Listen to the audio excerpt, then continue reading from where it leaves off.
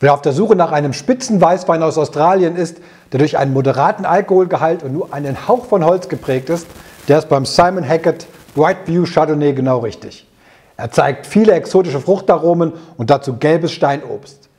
Dieser Wein hat den Chardonnay-typischen Schmelz und ist mit viel Saft ausgestattet. Ideal zum Hühnerfrikassee.